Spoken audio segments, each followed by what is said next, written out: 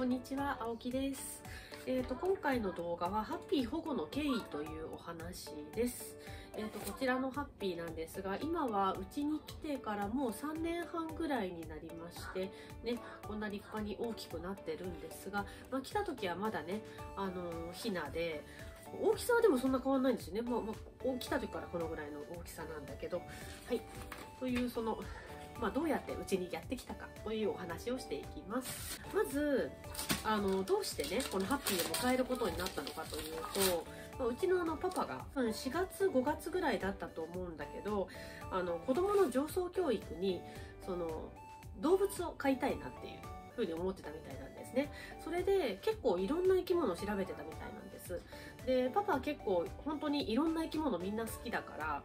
だから最初は特にカラスっていうんじゃなくってえっ、とおはよあおはよう。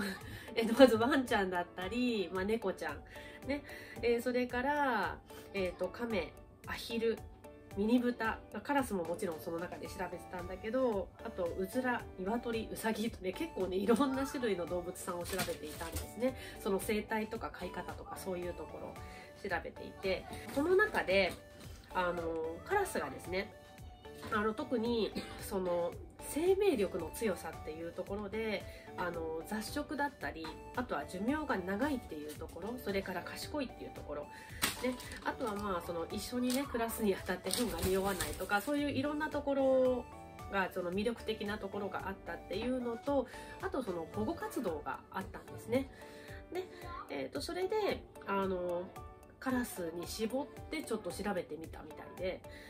えー、とそこで調べたところで変な絵石地みたいなのもいっぱいあったみたいでなかなかちょっと調べるのが大変だったみたいなんだけどあのなんとかあのそこからちゃんとしたところそのカラスブログさんの里親募集の記事に行き着いたみたいで。でえー、とそそれが、まあ、大体5月の終わりぐらいだったのかな。でその時期にあの私のところにあのそのパパからね相談がありましてあのカラスを飼いたいんだけどって言われてカラス？私はもう全然唐突だったからすごいびっくりしたんだけどその当時私結構パートであの家を空けることが今よりも多かったのでだからまずはその子供たちまだ小さいしその小さい子供たちちゃんとお世話しながらパパがちゃんとカラスの面倒をちゃんと1人で見れるのかどうか。でその自信があるのかどうかっていうのとあとはそのもうその時から YouTube やってたんですよね。そのカラス日記じゃなくって、まあ、うちのパパの方はパパの趣味のチャンネルやってて私は私で、まあ、今のチャンネルやってっていう感じだったんだけどどのみちそのカラスちゃんを迎えるんだったらおそらくそのカラスの飼育日記みたいなものをつけたいだろうからだから、まあ、それをねやった時にその人気が出なくても絶対可愛がってねっていうその話をしてであそれは分かってるっていうことででじゃあいいよって言ってそしたらもうなんかすぐにその県内での里親の募集があったのでもうそそこにすぐに連絡したいっていうふうに言われて、うん、じゃあそれでじゃあ応募してみたらいいんじゃないかなっていうふうになってで応募したところカラスブログさんと連絡取ってあカラスのその里親募集についてもこれはあの犬猫の保護活動と同じような形でちゃんとねその飼育できる人があの引き受けてくれないと困るからっていうことであの、ちょっとその心配な話をしちゃうと、まあ、虐待をしないかとかも心配ですよね。そう。だからそういうのがあるからちゃんと、まあ、それでその大事にね飼える人のところにちゃんと橋渡しできるかどうか。はねすごく大事なんで。まずはそのカラスブログさんにあのうちの身元を明かしてで飼育環境について、まあ、うちの場合だったら一軒家なので、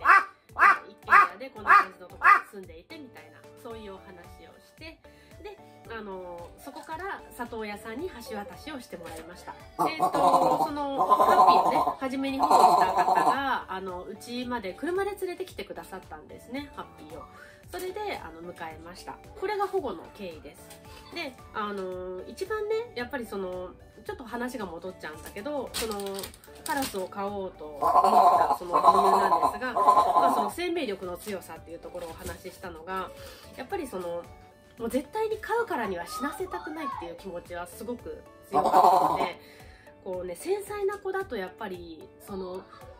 飼い方がねうまく見つからなくってまあ本当に最悪の場合死なせてしまうリスクとかそういうのもあると思うんでそれがやっぱり怖いなっていうのを思ってで飼ったわけなんですが実際に飼ってみるとハッピーもね結構繊細なんですよねこう見えて。でなんか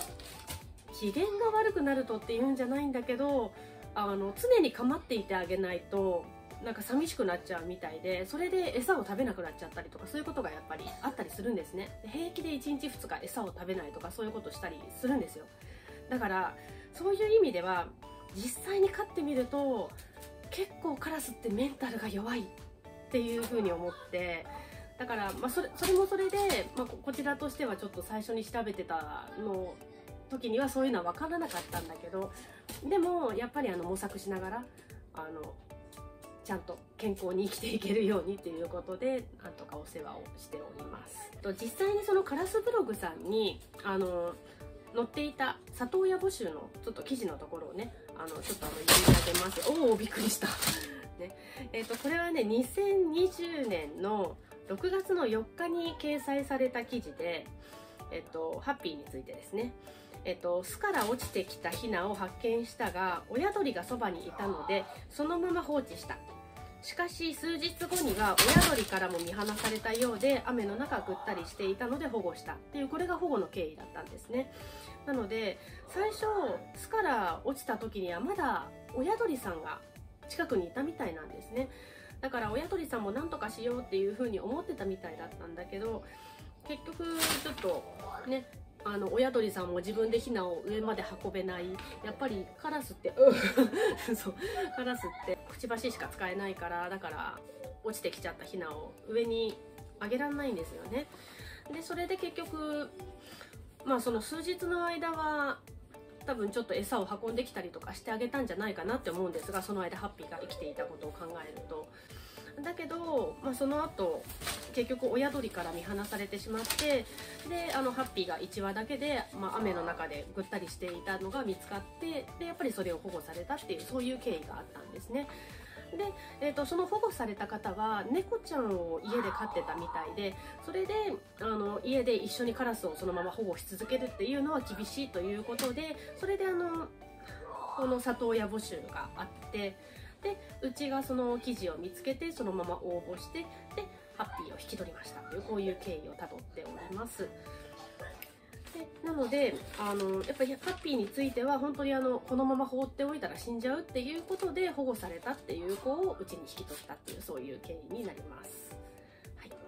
というわけでそのハッピーがですね、まあ、今そこから3年半ぐらい経ってねこんな風にもうとっても元気に育っております。はいという今回はそんなお話でした。え、ー、と、またちょっとね、ハッピーのことについて、この前はね、あの、包丁しませんよっていうお話をしたんですが、えっ、ー、とね、あとはあの、実際にそのカラスを飼ってみてというのか、その、まあ、保護してみて、一緒に暮らしてみて、なかなかねその大変なところっていうのもいろいろあったのでちょっとその辺りなんかもまとめてお話ししたいなと思っております。ではご視聴いただきましてありがとうございました。バイバイ。